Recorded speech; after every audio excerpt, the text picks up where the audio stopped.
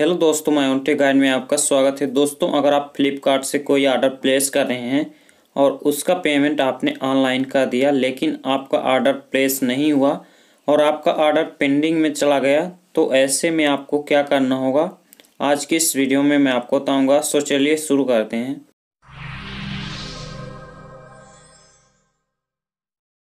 तो दोस्तों, वीडियो शुरू करने से पहले मैं आपसे एक रिक्वेस्ट करना चाहता हूँ। अगर आप हमारे चैनल पर नए हैं तो चैनल को सब्सक्राइब ज़रूर कर लीजिए।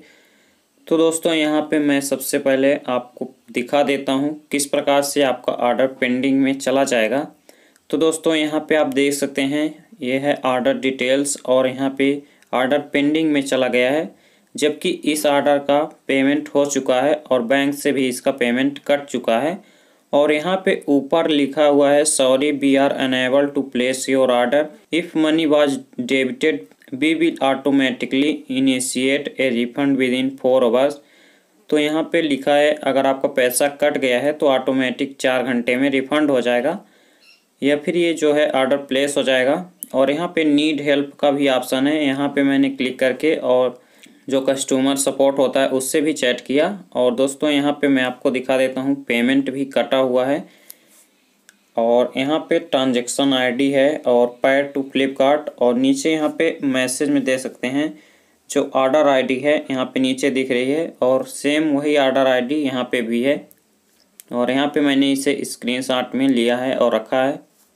तो दोस्तों, इसके बाद मैंने थोड़ा सा वेट किया और आधे घंटे के अंदर ही मेरा ऑर्डर जो है प्लेस हो गया, यानी कंफर्म हो गया। और यहाँ पे मैं आपको दिखाना चाहता हूँ। मैं यहाँ माई ऑर्डर्स में जाता हूँ और यहाँ से आपको दिखा देता हूँ। तो दोस्तों, यहाँ पे नीचे वाला है और यहाँ से मैं इसे आपको दिखा देता हूँ।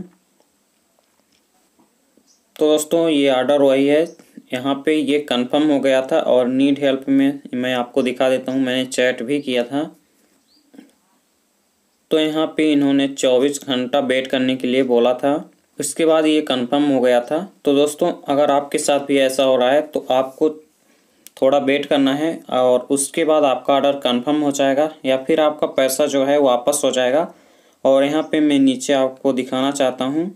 यहाँ पे आप देख सकते हैं, ये फ़ोनपे से मैंने सौंतीस रुपये पेमेंट किया था। तो दोस्तों, यहाँ पे जो पेंडिंग में चला गया था तो आधा घंटा के अंदर ही यहाँ पे कंफर्म हो गया था। और अगर आपका कंफर्म नहीं होता है तो आपका पेमेंट जो है रिफ़ंड हो जाएगा। और अगर आपका पेमेंट भी रिफ़ंड नहीं हो रहा है और ऑर्डर भी पेंडिंग है तो ऐसे में आप कस्टमर केयर से भी बात कर सकते हैं। वहाँ से भी आपको सोल्यूशन मिल जाएगा। सो दोस्तों, आज की इस वीडियो में इतना ही।